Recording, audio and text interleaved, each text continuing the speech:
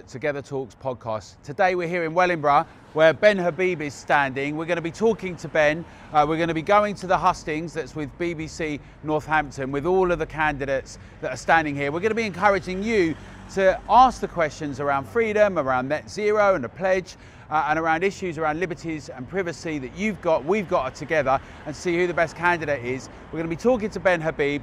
I personally am very impressed with him, but let's hear what he's got to say. We're going to see him out on the street canvassing. Uh, we're hearing all sorts of things about who's on the street here, who's not, who's worried, who's not, but we won't know till 15th of February what the outcome is. So uh, we're also going to be here for the next couple of weeks. You'll see some exciting things that Together's going to do as well. But we want you all to get involved, to have a vote for who you think is the most freedom loving, most privacy uh, adoring person together. So next up, Ben Habib. Um, my name is Ben Habib. I'm the candidate for Reform UK. An interesting fact about myself is, well, I love boxing. I used to box in my university. Perhaps people don't know that but uh, it's as interesting as it gets. okay, people will work through that. We've had two waves of inflation in this country. We talk about the wave of inflation that's happened in the last couple of years, but actually before that, when the banks collapsed in 2008, 2009, we printed money like video to save the banks.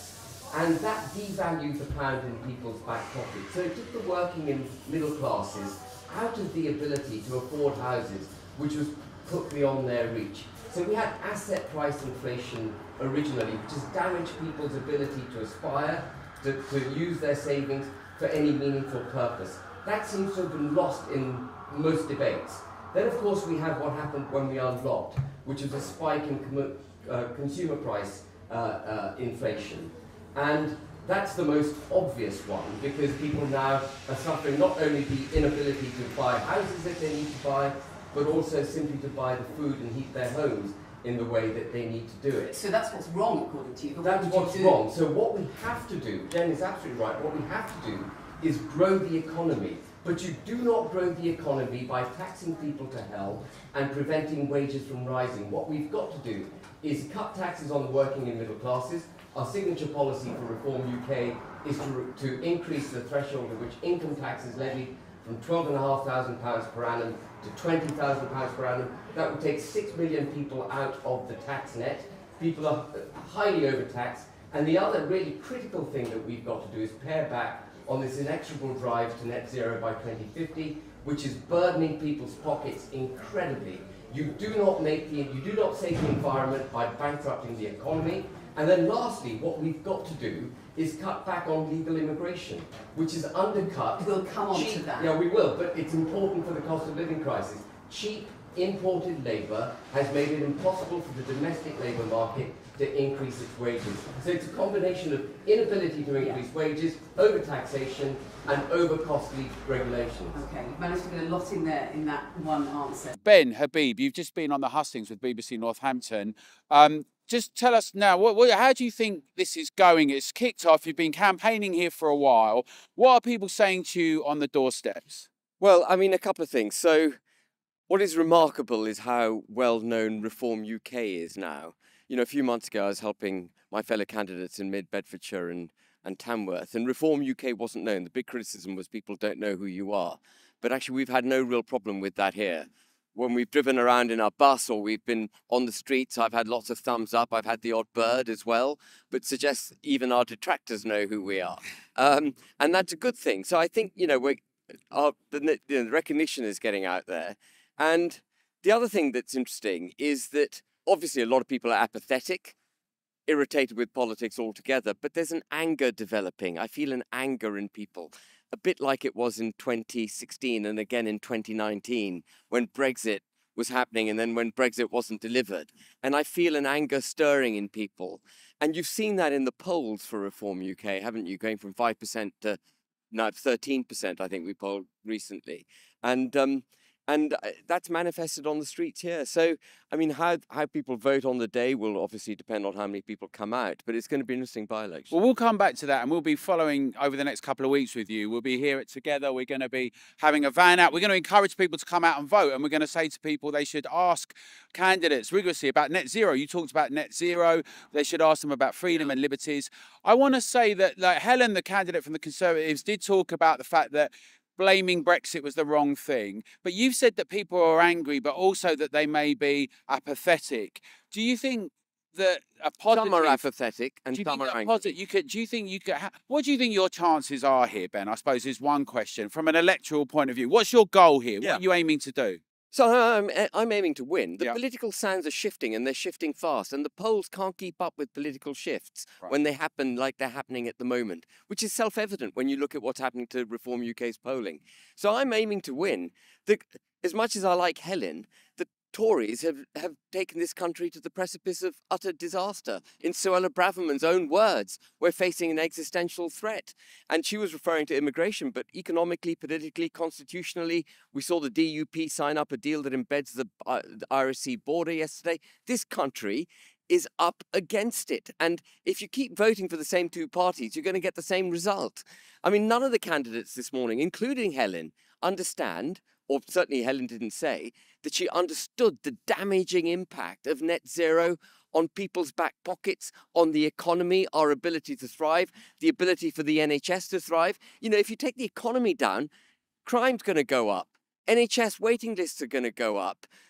Town centres will be incapable of being refurbished. Of course, that's self evident, isn't it, to a sane minded individual? But that argument isn't being made. Everyone kind of just buys this thing that there's a climate emergency and we must emasculate ourselves, uh, sacrifice ourselves on the altar of net zero, as if getting to some magical figure of carbon emissions by 2050 is going to be the answer, if we ever get there. So, I mean, that well, there'll be music to a lot of people at Together's ears. What you're saying, and obviously we've got members and signatories in Wellingborough as well as around the country, and there's a lot happening. And I think people like with Uxbridge will be looking at Wellingborough to see what happens, as well as some of the May elections. So it's very important nationally. Um, there's some independents in here as well uh, that have made the point. Interestingly to me, one of them made the point about this climate emergency, this climate crisis. As you said, town centres, city centres. Uh, we're in this lovely place, the Ugly Mug, hospitality. All of this has Yeah. been uh, really impacted in the last three years, and with some of these measures. How much do you think uh, what? Because in the end, you are with reform. It's not just Ben Habib, right? And there are other independents. There are people locally. What do you think? uh, the positive case, how much is what you're standing for, also what everything reform's standing for? What would you make as the case for reform more broadly versus those that want to go independent and others that are s- I- undecided? I, mean, reform. Um, reform is very simple. Reform stands for making policies for the British national interest, for British people's national interest. That is, it sounds daft to say that. You think all uh, political parties would do that, but they don't. You know, this this net zero um, drive to you know by net 50 that's that's an imported global policy um, we saw rishi sunak go to cop 28 splash out 1.8 billion on environmental issues in india when he went and described himself as the son-in-law of india splashed out 1.6 billion and where did that money come from? We're told we can't have tax cuts, that we can't uh, allow the working class to keep some of their legitimate earnings. No wonder the labour market's broken. If you can't keep what you earn, you're not going to be minded to work. That's the biggest deterrent to work that there is. It's got to pay to work. And that comes back to overburdensome regulations, net zero in London, which, you know, which is where I know you're from, you know, ULEZ, congestion charge, low traffic neighborhoods. Um, all of this is utter garbage. And of course, behind all of this, I don't know how much time we got, Alan, but behind all of this is the, the pernicious regulations penalizing, for example, producers of gas boilers and heat exchangers if they don't sell a ever increasing proportion of heat exchangers alongside their gas boilers. And of course, those penalties will come back to the people. Highly damaging again in regressive taxation for the working and middle class. The same for internal combustion engines. If you don't, if, if, if manufacturers and wholesalers of internal combustion engines and electric cars don't sell an ever increasing proportion of electric cars, they get penalized. And of course, they'll pass those penalties on to everyone. The whole population is creaking under net zero.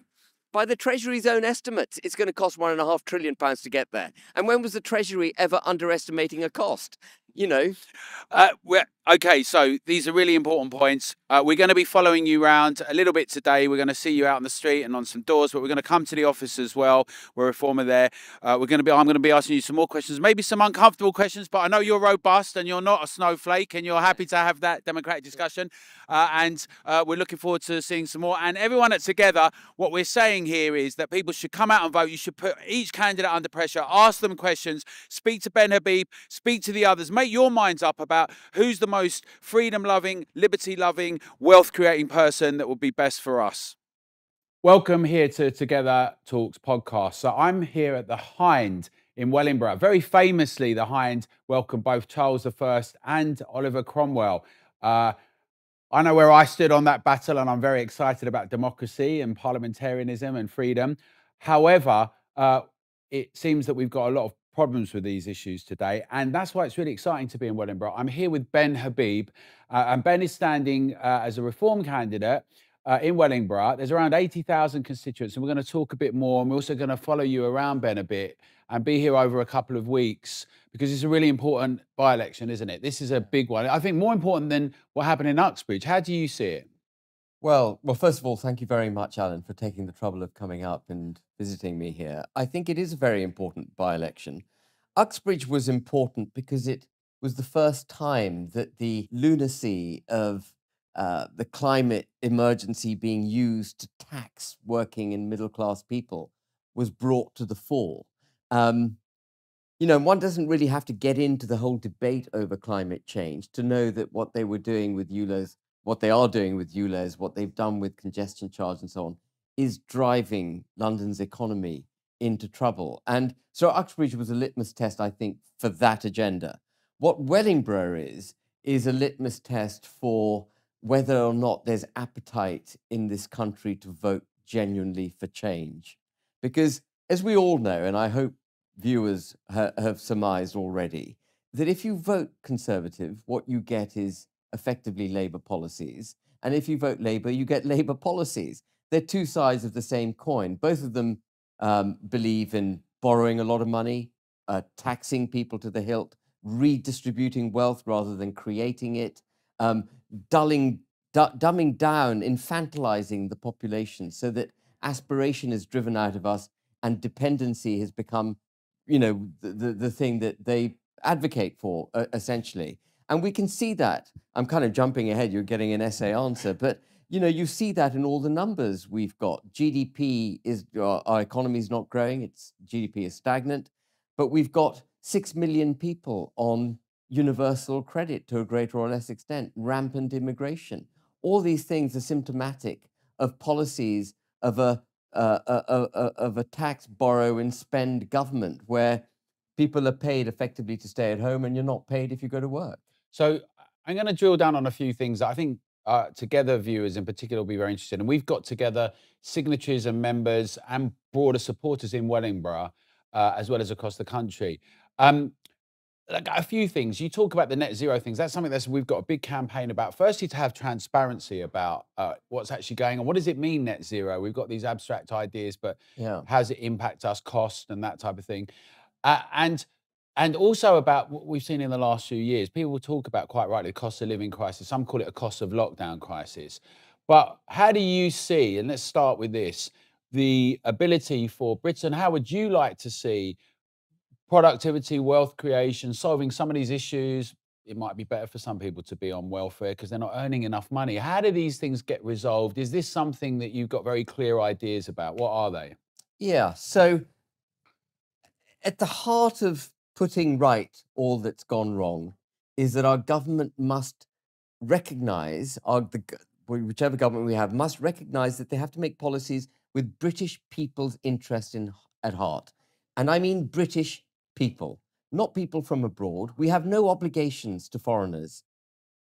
We are the United Kingdom. As a governing, uh, as a governing body, our obligation starts and ends with the United Kingdom. Yes, once we've looked after our own, we may wish to help others, but that's we are not obliged to others, and that has to be understood.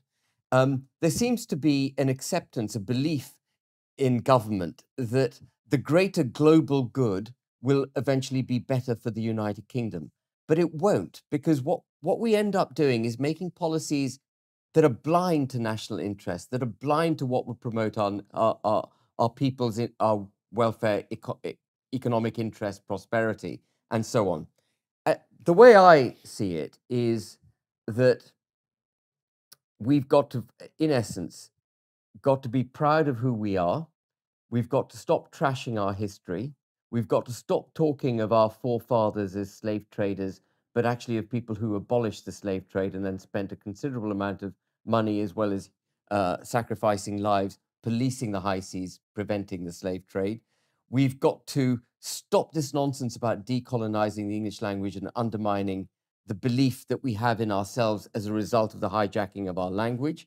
We've got to champion our national heroes. And if we can develop that self confidence in who we are, and we don't take the knee to these kind of globalist, um, dumbing down attacks on the United Kingdom, we can start doing what's right for the economy. But of course, if you don't believe in the nation state that is the United Kingdom, which is where I think our governing class comes from, because they take their lead from the global stage, then you don't care about immigration either.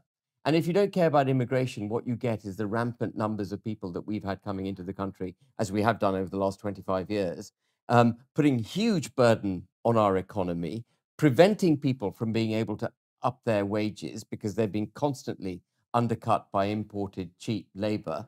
Um, huge demands on our public services, NHS, education, housing, to name but three of them, where we've got problems, uh, you know, massive problems at the moment, but also tearing at the social fabric of the country.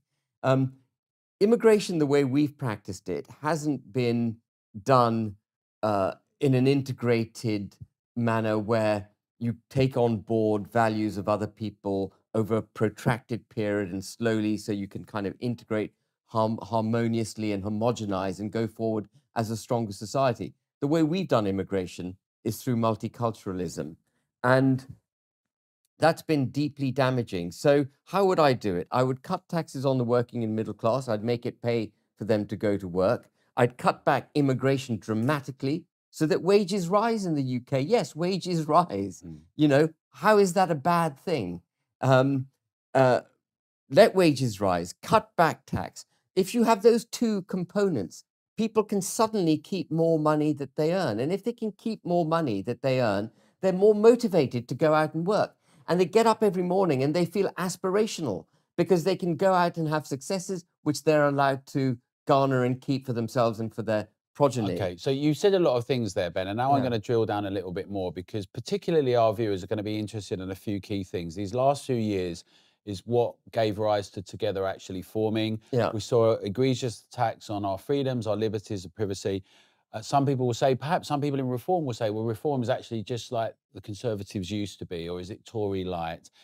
Others uh, will say, well, I like Ben Habib maybe, but what about reform more generally? People have questions on many things, everything from the vaccine mandate to other points from the points of views of freedom and on lockdowns and on questions around liberty, we hear your points on net zero, hear your points on immigration, on democracy and what's new. How is this not, uh, and tell me, I want to hear from you, not a continuation of what we see in Westminster? The similar people that went to similar schools, that all do similar things, they happen to like going to Davos and that type of thing rather than like Keir Starmer prefers Davos to Westminster, it sounds like. But how is this different? What is new about this? Or do we need something that's different? How, how do you see that? What would you say to people? Okay, so um, I was very reluctant. This is a personal response. I was very reluctant to get into a political party. I didn't want to be part of a political party for fear of my own views and beliefs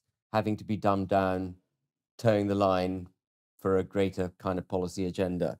Um, and Richard and I were talking for a number of years. I was part of the Brexit Party for that momentary period to try and get try and get Brexit over the line. We can have a whole discussion on Brexit if yeah. you like. Um, but then I took a step back from the Brexit Party, which then became Reform, and I was campaigning for various issues which I believed in. Um, which again we can talk about if you like.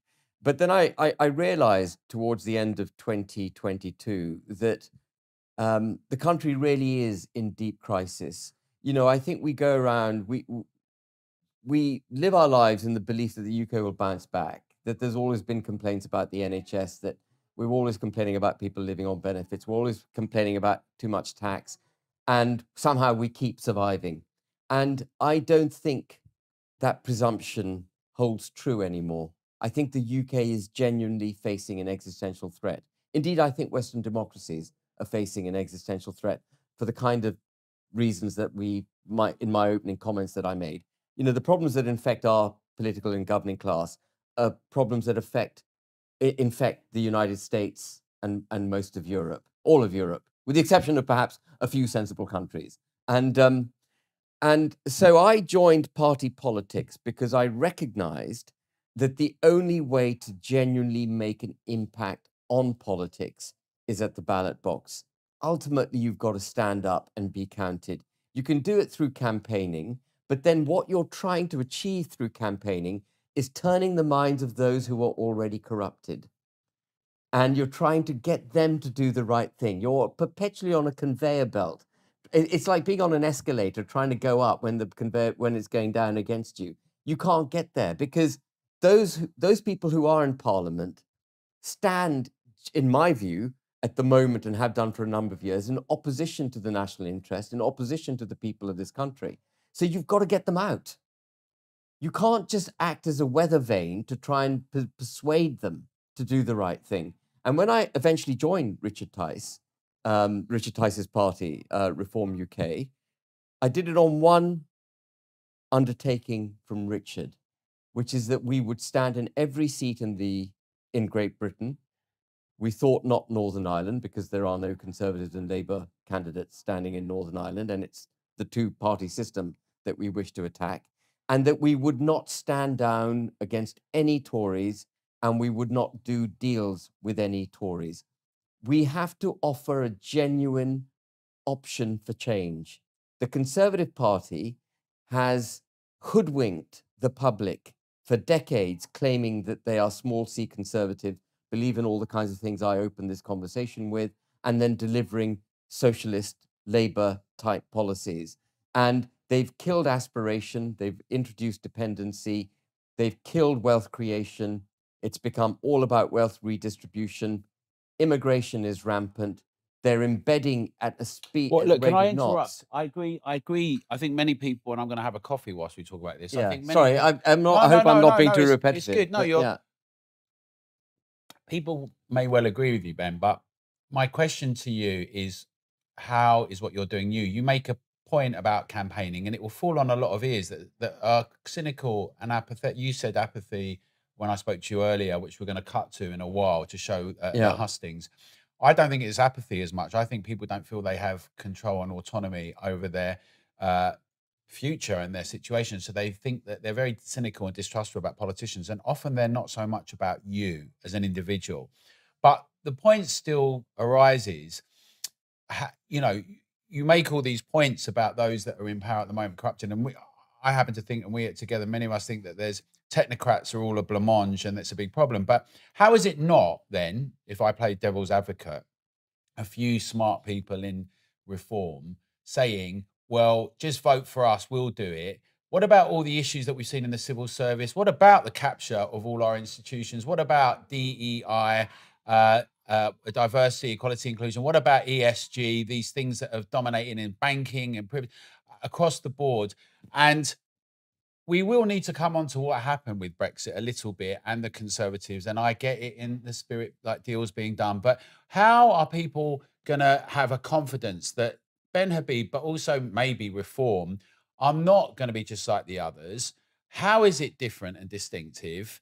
Uh, that's what people are going to be asking. Because a lot of people to us say, well, what about all these different uh, independent parties? Maybe everyone should unite. We should have a coalition. Or, and I know this is, this is a second question it would make one think when people are so cynical and disenchanted with politics that almost anyone should be able to get in that's challenging it. So I want to know if you come onto that second, why that isn't happening yeah. at the moment. So in terms of why is Reform UK different? Um, I don't need to be here.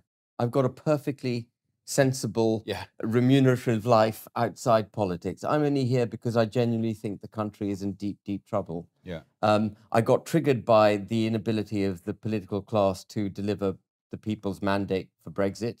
And then I, as you get more involved in politics, and I'm sure you've been on this journey, Alan, as you get more involved in politics and the mist lifts and you see how much damage these people are doing, how much they hoodwink you, you get more and more triggered. And once you're triggered in that way, it's very hard to then put the blinkers back down and go back to normal life. So I'm here because I am compelled to be here. I am duty bound to be here. I'm not a career politician. Uh, uh, what I would like more than anything on the planet is for the Conservative Party or some party, any party, to do what I think needs to be done and put me out of business Mm. so I can go back to my normal life. And I think most people in Reform UK come at it because of that reason. We're not at it because we wish to be uh, politicians that make a career out of it and then decide what policies we have and what we might do for the country. We're at it because we genuinely think the country is facing massive threat Mm. and we've got to avert that threat. When that avert, if that threat, if and when that threat is averted, you will see me retreat. I'll be gone. Is that being communicated, do you think, to the constituents in Wellingborough? How, how are people listening to your message? How are they engaging and responding with that? What What's your take on what the lay, lay, lay of the land is here? Well, I've the way I've been fighting my campaign is on on the streets, meeting people. That's not the most productive way to have a conversation. So I've been having a series of meetings with constituents who wish to come and meet me. So I've had two or three in Wellingborough. I've got one in Chelveston tomorrow, and then I've got another one in Rushden on Saturday with Ann Widdecombe. And I'm doing as many of these as I possibly can. And what I tell these people is my view of the world, which is that we're being run with this kind of globalist set of policies um, that need to be reversed, that the country is overregulated, overtaxed, and is being socially torn apart through rampant immigration, and that we face economic, political, and constitutional implosion um, if, if if we don't get a grip of this. And people understand it, they get it, they feel it, they can see it on the streets. We see it manifested in our public services that are all broken, crime out of control, the smell of weed every 15 yards as you walk down the street, the derelict shops, the offices that aren't occupied. People, s- there's a visual impression of broken Britain. So people understand what I'm saying. And wh- what I think is changing quite dramatically is that recognition. And, and I think that recognition also amongst the people that they have to vote for change if they want it, that they can't just go on voting for the same old monkeys. Okay, and a lot of You people know. are not coming out to vote as well. So we see that people sometimes Yeah. we don't even get fifty percent in some constituencies. Local elections between ten and twenty. My question, I'm going to push you further on this now because Yeah. I agree, and we all agree that this is critical in Britain, and people are talk about watershed moments and precipices, but there is a sense in which it's dangerous as well when the democratic arena just seems like it's just for why would people engage with it, right? That's Yeah. dangerous. Uh, so the question is, right? Let me just track back a little bit. Um, obviously, Nigel Farage is very famous, very well known. You know, he dedicated his life to a very particular thing, Brexit. Is loved by many because of it, despised by others because of it.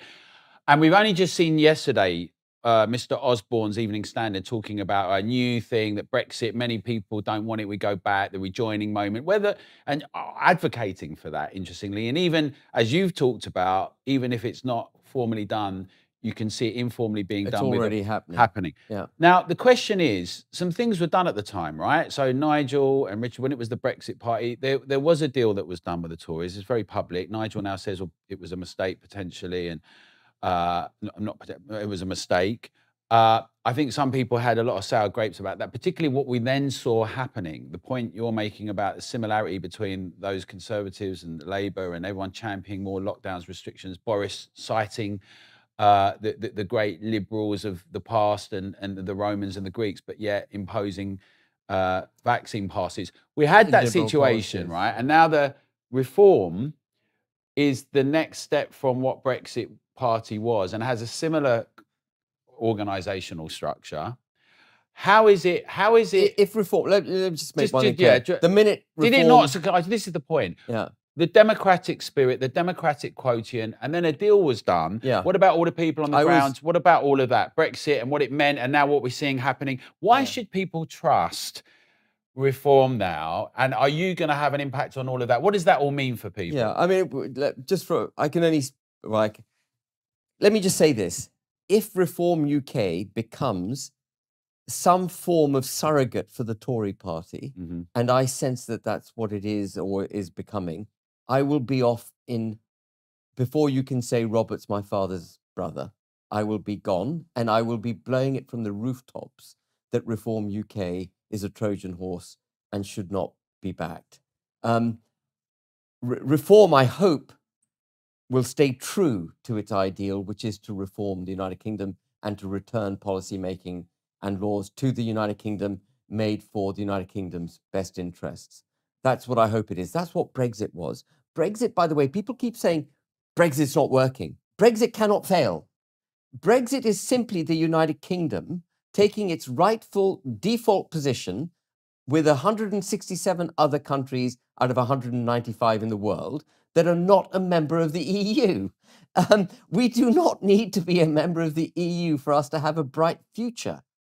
The, the, the, I mean, we should be turning it on its head and saying to Remainers and Rejoiners, make the case to join the EU because the default position is the United Kingdom being on its own. That's what we are. This the social, political, and constitutional construct that is the United Kingdom came about over thousands of years. Mm. The EU is a political experiment that's existed for a couple of decades and ain't going so well. Yeah. You know, So uh, people can see that, and in fact, Helen, the uh, Conservative candidate, was making the point that Britain's doing better than some of our neighbours, and look at what's much happening better in than Germany. Germany. Much better others. than Germany. And so here's the other thing that some people will say. They'll say, well, they are deadly serious about this election, uh, both here in Wellingborough and across the country, and they want to not have certain people in power. And that whilst they really might like Ben Habib or reform, what's the prospect of uh, uh, of that being a reality when people are so wedded to either still the Conservatives and Labour, even though many are politically homeless, I think I can What's- win this. I think I can win this seat. and this country's election coming up nationally as well? Just Yeah. what would you say to people about Well, that? one step at a time. Yes. if I win this seat, uh, let's talk about winning. I think even if I put Conservatives into third place by coming second, um, I think that'll be politically seismic. But if I win this seat, Alan, you will see a political tsunami go across Westminster. Yeah. They will be in utter shock that someone who's never held a parliamentary position before has joined a new party that's only three or four years old hmm and has come into parliament. It'll tell them that the first past the post system that has protected the Conservative and Labour parties is no longer protecting them, and that the people are up and they are voting. It'll be seismic. It'll be seismic for that reason. It'll also be seismic because when I first speak, there's a protocol in Parliament that your first speech is actually quite tame and you get up and you thank everyone, you do all the niceties. Mine will not be tame. I will get up and I will tell the Conservative Party, the governing party, and the opposition why I'm there. It's because they have failed this country repeatedly, that they offer no bright future for this country, that they are they have taken collectively, both of them have taken this country to the precipice, and we are either about to fall over. I hope we haven't already fallen over. I will sock it to the two main parties every day that I go to the Commons in a way that they haven't experienced. Not with the timidity of a party political animal, but with the robustness of a Genghis Khan. That is what I, I intend to do if I get returned. So if I win this seat, it'll be massive for the political landscape in the United Kingdom. If I come second, it'll send a shockwave. Mhm. Um, I'd rather win than send a shockwave. I'd rather have a tsunami than have a shockwave. Um, if I win this seat, then all bets are off as far as the two main parties are concerned. We can we can make an impact at the general election. I get that. I want to ask you some specifics. You want to have control of the borders. Yeah. It- well, it's not this particular issue isn't a, the one for for together, but we do have an issue around things like digital ID cards, surveillance, uh, constant state.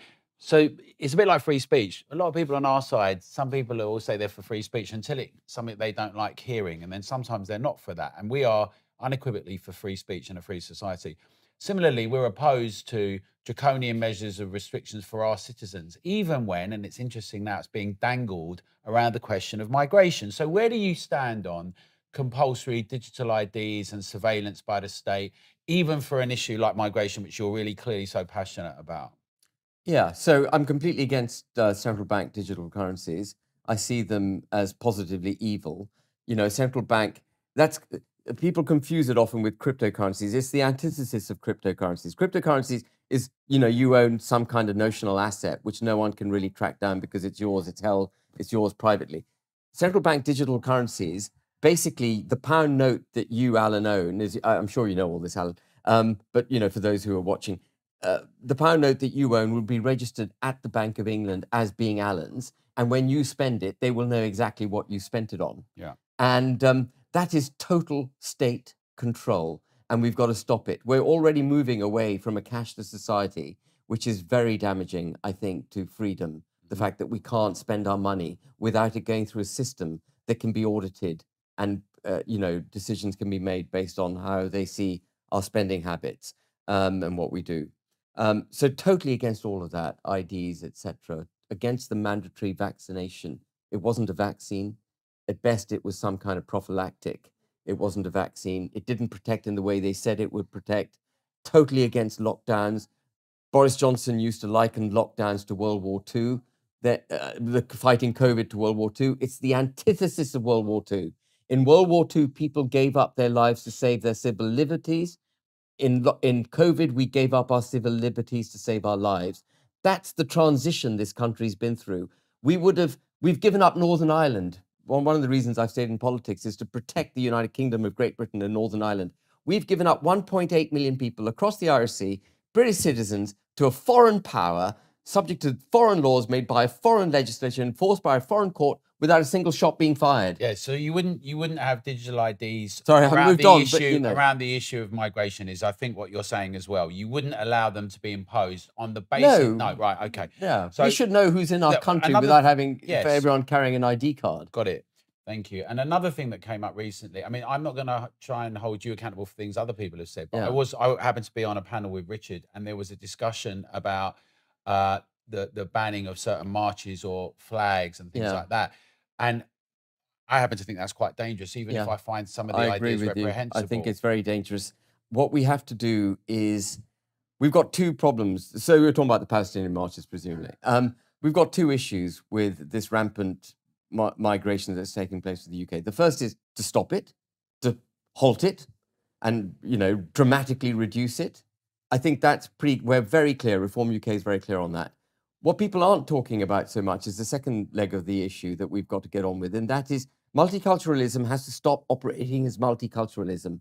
We have to integrate. Mhm. We have to integrate as a society. That doesn't mean we all have to believe the same things. We can have diversity of thought, but we've got to have inclusion when it comes to our societal norms. And the settled social construct that I mentioned that's taken thousands of years to create in the United Kingdom, that's got to be harmonious and relatively homogenous. There's got to be positive attempts and efforts made to integrate. We've got to get on with it uh, urgently. What we don't do is shut down multiculturalism through policing, by diktat, by preventing the Palestinian marches. What we do do is bring those people into British values, make them see the error of their hostile rhetoric and ways and their desire to wipe out Israel, and get to a, a more settled sort of uh, a settled country in the way that we used to be. When I grew up, I'm going to cut. You asked me about DEI earlier, uh, which is part of this, by the way. Diversity, equality, and inclusion. What we see on the streets, two-tier policing, all of this. They're all part of the same issue. Um, when I grew up, it was very, very clear, and I'm sure you'll remember this because we're similar age. We were told everyone is equal. We were never told that if you're of Pakistani ethnic origin or North African ethnic origin, you should be given special treatment, that your culture should be respected more than British culture is, that you should be given a right to a job just because you happen to be from an ethnic minority. Now we have regulations through diversity, equality, and inclusion, the Equalities Act, listing rules from the stock exchange, and so on, that require boards of directors to be multi ethnic, that require uh, the armed forces to dumb down their ability to defend the country in the pursuit of having a multi ethnic fighting force. Um, we've got to do away with DEI needs to be abolished. We talk about woke. Woke is not a social. Uh, woke hasn't just turned up as a fad. Woke has been regulated and legislated into place. It's been put there by our governing classes. It's in acts of parliament. It's in regulations that govern us.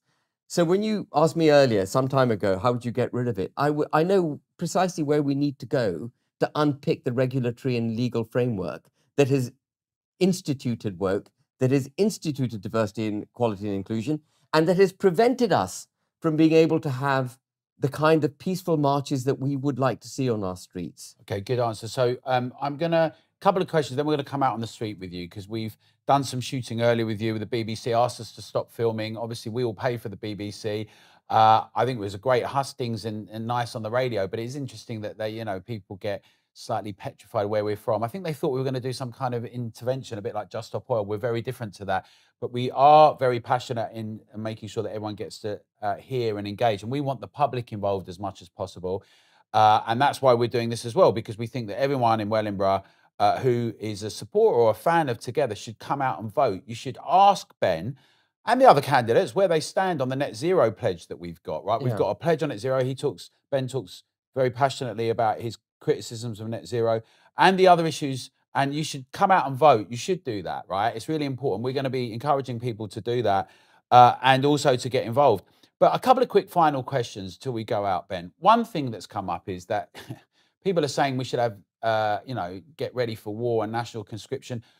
On the very basis of what you've been talking about, people, our gatekeepers, the people who run our institutions, our leaders, do not believe in the British values, they can't even say what they were of the Enlightenment, of liberty and freedom. We've seen that in the last few years. The idea that you get someone to sign up and fight and die for something where people don't even know what they are seems ludicrous to me. But also, there's a concern that there's a bit of tub thumping at the same time. It might seem like a contradiction. It's not the old Kitchener, your country needs you. But there's a danger with gobby mouthing and just loosely asserting things on international geopolitical issues, right? That everyone starts shaking their shoulders. And all of a sudden, we don't have the smart geopolitical realpolitik of interest. What we have is a kind of adolescent, like virtue signaling. And that's dangerous. I think we've been in the virtue signaling adolescent foreign policy making for the last 30 years. Mm-hmm. Um, we should never have had the Iraq war. We should never have gone to war in Iraq. There was no justification for it the 22 year occupation of Afghanistan yielded absolutely nothing of geopolitical importance, mm. with the exception perhaps of killing Osama bin Laden, which could have been more effectively done with a drone and some special intelligence.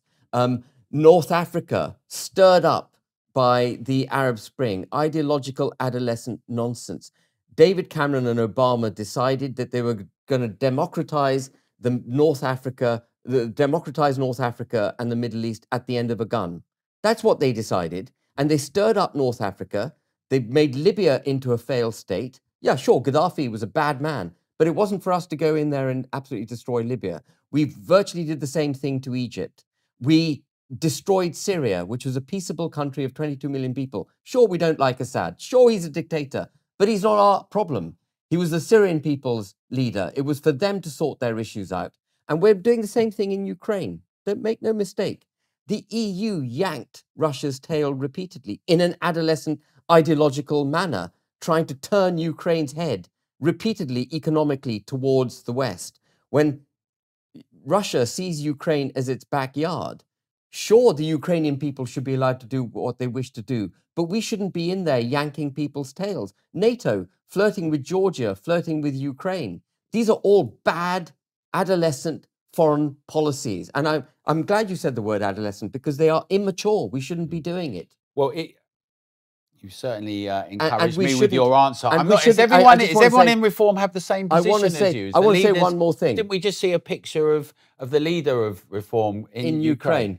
So I can I, will come to that. Yes, can I just say one yes. more thing? I think this table thumping that's going on by political leaders and uh, leaders of the armed forces saying that we could have conscription, we're about to go to war, I think is, first of all, it's misguided, it's wrong. I don't think we are going to war. If anyone thinks what's happening in the Middle East is new, they need to go back and read some history books. It's been happening all my damn life. Yeah. What's happening in Ukraine is a particular issue for a particular reason and must not be conflated into anything bigger than that.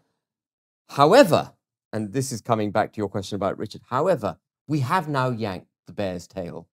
The bear is upset. The bear is in a corner. And by putting the bear in a corner, we forced him to sidle up to China. And, and, and they've sidled up to Iran. And through this adolescent, ideologically driven, stupid foreign policy, we've create, we are creating problems for ourselves. We need to row back from it. We need to look at what we used to do in the 19th century. We were much more enlightened in the 19th century. We went abroad. We traded with people. We didn't export our views. We didn't export our ideology. We didn't try to democratize the subcontinent. What we did was trade with them. And through trade, they got richer and we got richer. That's what we should be doing abroad. Trade, not aid, not war. So on the, uh, I want to come back to the final bit on Richard, but I also want to ask you because some people have said that you've mentioned conscription, and I in the past have talked about how people doing stuff in the military could be of value. But then we've got the problem, haven't we, of the people that are running this country and and the, the very things you've just said. So just for a point of clarification, where are you on the conscription thing? Well, I'm completely against conscription unless Okay. we're in a world war. Yeah. You know, unless we're the, United Kingdom is being attacked. Yes. I, I, I see great benefit, by the way, from national service. Right. I can see great benefit bringing national service back, Okay. bringing discipline to young. Explain the difference for people. So conscript, conscription is you're forced to sign up to a standing army. Yeah. Whereas national services, you transition, you freewheel through a standing army for a period of time, learn the learn the skills, get trained, and then you're there as a potential uh, a member of the fighting force if we are threatened at a massive level. But I also think But wouldn't they have all been sent to war in these examples you've just given? If everyone had been through national service, and and, and wouldn't that happen if we had a new uh, Iraq moment or a new? Wouldn't Yeah, and but we, what we've got to d- what is, sure, and you know the army serves our political leaders, and that's why our political leaders need to take their responsibilities very, very seriously. Mhm. They shouldn't be trying to democratize Iraq or democratize uh, Libya. I mean, look at Libya they now. could try and democratize Britain a little bit more? They could do. They could do a bit. And look at. Look, let's just talk about that for a second. So the man who was trying to democratize North Africa, the Arab Spring, promoted it, killed hundreds of thousands of people. By the way, David Cameron. That Yes. that David Cameron and Obama. That initiative killed hundreds of thousands of people in that locality. Is now foreign secretary. Yeah. W- not even a member of parliament. He skipped over the democracy which he holds so dear Yeah. and he's been promoted to the House of Lords, from which he holds forth without any checks and balances on him, telling us what we should be doing for our foreign policy. It's an anathema. That's why the Tory party has to be destroyed. Well, you're hearing it here. Ben's very clear on this issue. Um, I uh, just Richard was in Ukraine. Just tell us why you think that is, and then and then we're going to come on the street with you if that's all right, and we're going to come back and revisit this in a bit. So let me be clear on something else. Having yanked the bear's tail, yeah, if we end up in a war with Russia yeah, and China, I will be the first to sign up okay, because I will put my country's interests first. Even though it's a war that we may have been able to avoid, Mhm. should have avoided, I will go and do what's right for the country. I'm probably too old for it, so they'll turn me away, but I will do what's right for the country. Richard was there, I think, on a humanitarian mission. Um, he was not there advocating for war against Russia. I don't want war with Russia. I want no war with anyone. We should avoid it like the plague. Mm. But we should be bloody well ready for it. And we have diminished our armed forces Mm. and we need to invest in them. It, it, you know, we talk about the hijacking of the English language. One of the most pernicious forms of hijacking has been the peace dividend. Do you remember the peace dividend? It emerged in the late 80s after the Mm. Berlin Wall fell. We can spend the peace dividend. What that meant was hollowing out our armed forces. We should never have done it. If you want peace, be prepared for war. Well, I think it's interesting that someone who uh, grew up boxing, uh, which is kind of a good thing. I like boxing. Anyone who's never been in the ring with someone or trained in boxing should get to know what it is. I'm always really interested in politicians who talk about war who've often never been in a punch up themselves. I mean, war is brutal and terrible and disgusting. And although there are ideas that I think we should be prepared to fight and die for. But um, diplomacy, and I think the thing is what you've demonstrated for here. I sit with a lot of people, and we argue a lot of things politically. Uh, in the last couple of years, we've been doing it up and down the country. Is that Ben? You've got a very, very clear and resolute set of ideas. You seem to be refreshing from the point of view of in a way that where other politicians don't want to be. I, I was stopped by Helen's uh, special advisor who intervened when I tried to talk to her and Oh, said, "Come and speak Yeah. to me." And I find that happens a lot now with these professional politicians. Um, but hopefully, we'll get to speak to her and we'll speak to the, the Labour and Lib Dem guys. We've not managed to see the Lib Dem councillor in uh, Bath come out for uh, over 350 days to talk to their constituents. There's a contempt, it seems. Just finally, tell us what you will do in Wellingborough. How will you be with constituents? Remind people why you think they should vote for you. From a local perspective or from the national? Do both if you so want. uh, everyone tells me, Ben, you've got to fight the campaign on local issues. When the nation is facing an existential threat, I, I'm afraid it is the national issues that are going to determine your fate. Mhm. And Wellingborough is not alone as a constituency suffering in the various things it's suffering in. NHS not working properly, uh, centre of town tired, derelict, retail units out of use, crime on the up, etc.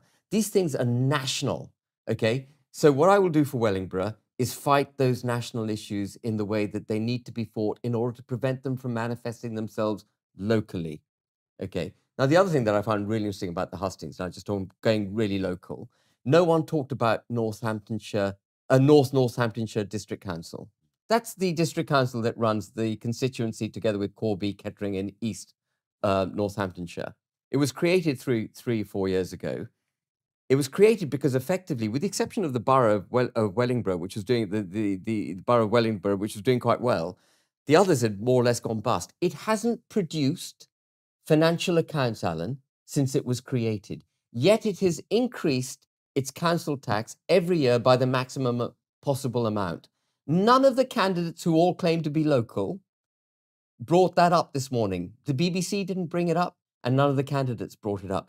How can you improve the governance of your constituency if you don't know and you can't measure how the money is being spent in your constituency? So, my first job locally will be to get to North Northamptonshire District Council and shake them until I get a set of accounts that I can interrogate, see where the money is going, and make sure it is spent better for the people of Wellingborough. Well, you heard it there, and I think you should decide whether you'd want to have Ben Habib if you're in Wellingborough and you can vote. Uh, I certainly am uh, reassured by uh, the idea of a rational, balanced, but robust person that could be diplomatic but also tough on key issues around freedoms and liberties. So I know myself where I stand. Uh, uh, together, we're putting it out to all of you in Wellingborough. Come out, get involved, vote.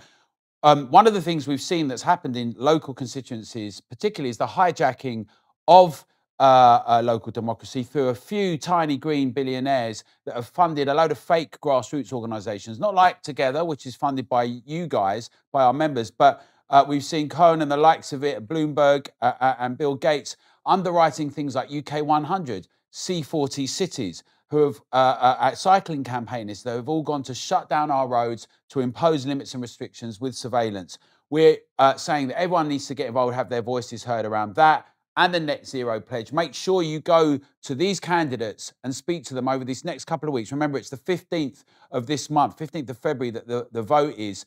Uh, so make sure you ask the questions about freedom. You get involved. You get your friends and neighbours to come out and get involved. We'll be out. We'll be talking to Ben Moore on the street. And remember, we're better together. And in the end, even if you've got bright people that are standing, it's going to be down to us as the public to keep everyone honest and to hold everyone accountable and responsible. So let's do that together. Ben Habib, thank you very much. Thank you very much, Alan. Thank you.